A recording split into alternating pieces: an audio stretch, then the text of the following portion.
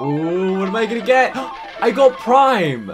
This better be good. There goes $20. It smells so strong. Bottoms up. I mean, it's okay. It's a drink. But is it better than an iPhone? Probably not.